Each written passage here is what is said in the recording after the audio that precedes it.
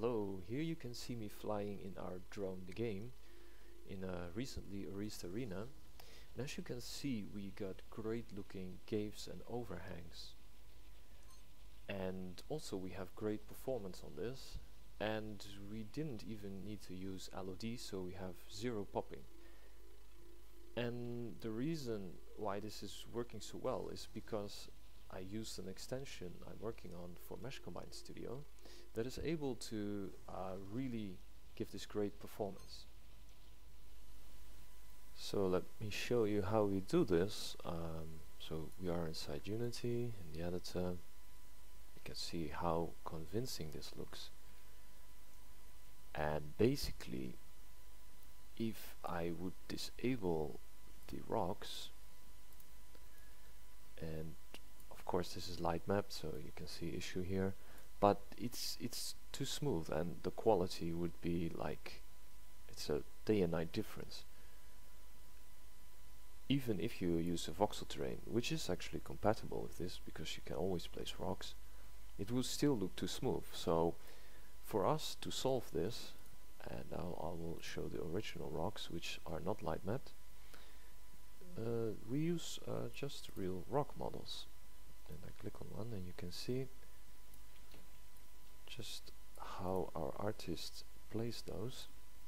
The whole issue that comes with this is that you go inside and there is just overlapping rocks and this causes basically a massive overdraw and super bad for performance. So if I go here and I select overdraw you can see the issue and then we have another issue is that if we go below the terrain we have all these rocks sticking through which are never visible so we need to solve this and for that I made this extension of Mesh Combine Studio which is able to remove geometry that is overlapping.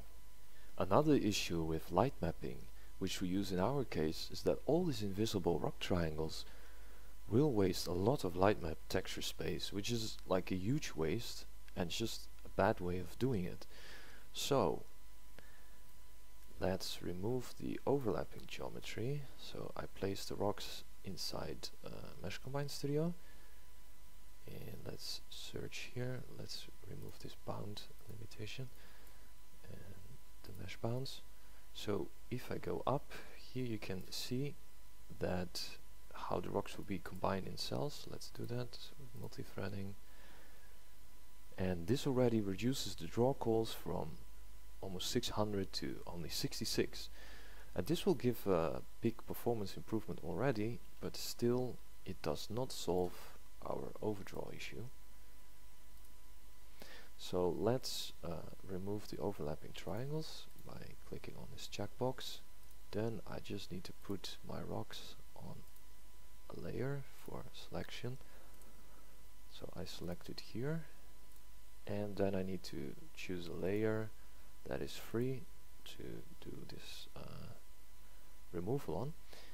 So let's disable the gizmos. And now let's combine and see what happens.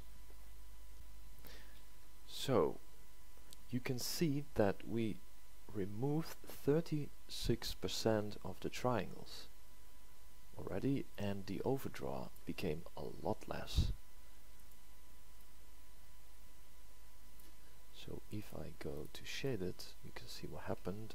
I go here through rock and hey, there's nothing inside like it should be. And this by itself will just uh, run already 56% faster. And then of course with the reduced overdraw this gains even more performance. So the next step is to remove triangles below the terrain. So you can see here that's another huge waste. So these are on horizon sky space also I added the feature that uh, like we use horizon here which does not have colliders. So you can remove geometry below the terrain without colliders. So let's combine it again. And bam! Here you have it. we removed almost 70% of the initial triangles, which will run like 333% faster. And it looks really clean and like it should look. So if we go back to the overdraw, you can see just how much it changed. So if I enable original, like this is like little overdraw nightmare, where this is very good result. So basically Mesh Combine Studio allows us to run this arena on low-end hardware where we get very promising results because of this. And if we would use the original rocks, that would be bad for performance and also bad for light mapping. And another thing, GPU instancing can never beat this because we draw almost 70% less of the triangles. So there's no way to beat this with instancing. And also because instancing is already slightly slower than cell-based combining and then with this reduction in geometry it can never beat it. So that's it. Um, basically this extension uh, will support uh, LODs like uh, Mesh Combine Studio itself.